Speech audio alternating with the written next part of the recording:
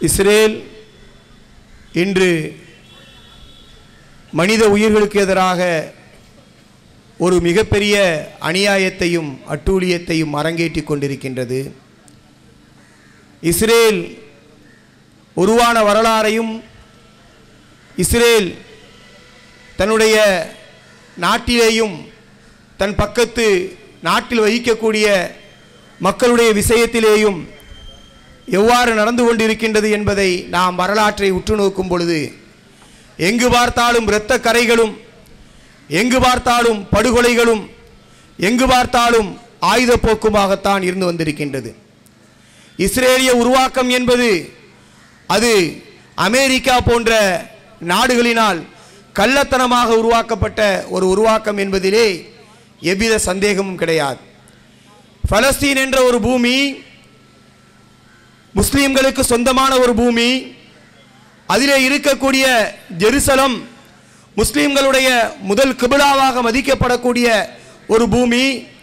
மாறாக இந்த ஜெருசலம் என்பது எப்படிப்பட்ட ஒரு பூமி என்றால் அது பலஸ்தீனிலே வாழக்கூடிய முஸ்லீம்களுக்கு மட்டும் சொந்தமல்ல. உலகத்திலே யாரெல்லாம் லா இலாஹ இல்லல்லாஹ் என்ற களிமாவை சொன்னார்களோ அந்த அனைவர்களுக்கும் சொந்தமான ஒரு பூமி. இஸ்ரேல் எண்ணிக்கொண்டிருக்கின்றது. பலஸ்தீனிலே இருக்கக்கூடிய ஜெருசலம் பலஸ்தீன முஸ்லீம்களுக்கு மட்டும்தான் சொந்தம் என்று எண்ணிக்கொண்டிருக்கின்றது. அவ்வாறு அல்ல எப்படி முஸ்லீம்களுக்கு இரண்டாவது கிபிலாவாக காபா இருக்கின்றதோ அதே போன்றுதான் பைத்துல் முகத்தஸ் என்பது முஸ்லீம்களுடைய முதல் கிபிலாவாக இருக்கின்றது. டெல் அவிவாக இருந்த இஸ்ரேலுடைய தலைநகரத்தை கடந்த டிசம்பர் ஆறாம் தேதி அமெரிக்காவினுடைய அதிபர் டொனால்ட் ட்ரம்ப் எங்களுடைய தலைமையகத்தை நாங்கள் இஸ்ரேலுடைய தலைமையகமாக ஜெருசலத்தை ஏற்றுக்கொண்டு அதிலேதான் எங்களுடைய தூதரக அலுவலகத்தை அமைக்கப் போகின்றோம் என்று ஒரு மோசமான கோரிக்கையை முன்வைத்திருக்கின்றார். உலக நாடுகளெல்லாம் இதை பயங்கரமாக எதிர்த்தது.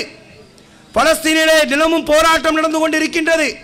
யாருமே இதை கண்டுகொள்ளவில்லை.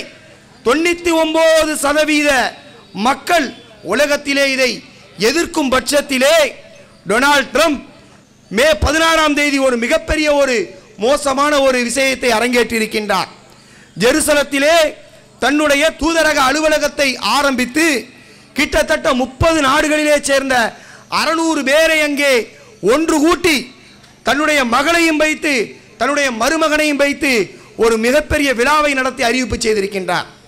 கண்ணியமிக்க அன்பர்களே இது எப்படிப்பட்ட ஒரு வரலாறு என்றால் இதுவரை பலஸ்தீனை எப்படி இஸ்ரேல் கொஞ்சம் கொஞ்சமாக உரிந்து கொண்டிருந்ததோ அதே போன்று கடைசியாக இன்று ஜெருசலத்திலேயும் பைத்துல் முகத்தஸிலேயும் கை வைத்திருக்கின்றார்கள். கண்ணியமிக்க அன்பர்களே இது எதை நோக்கி கொண்டு செல்கின்றதென்றால் பலஸ்தீனிலே உள்ள மக்களை மட்டுமல்ல உலகளாவிய முஸ்லீம்களையும் உலகத்திலே இருக்கக்கூடிய நீதியும் நேர்மையும் தவறாதவர்களும் இந்த அநியாயக்கார இஸ்ரேலுக்கு எதிராக போராட வேண்டும் என்ற ஒரு போராட்ட களத்தை தூண்டிவிடக்கூடியதாக இருக்கின்றது.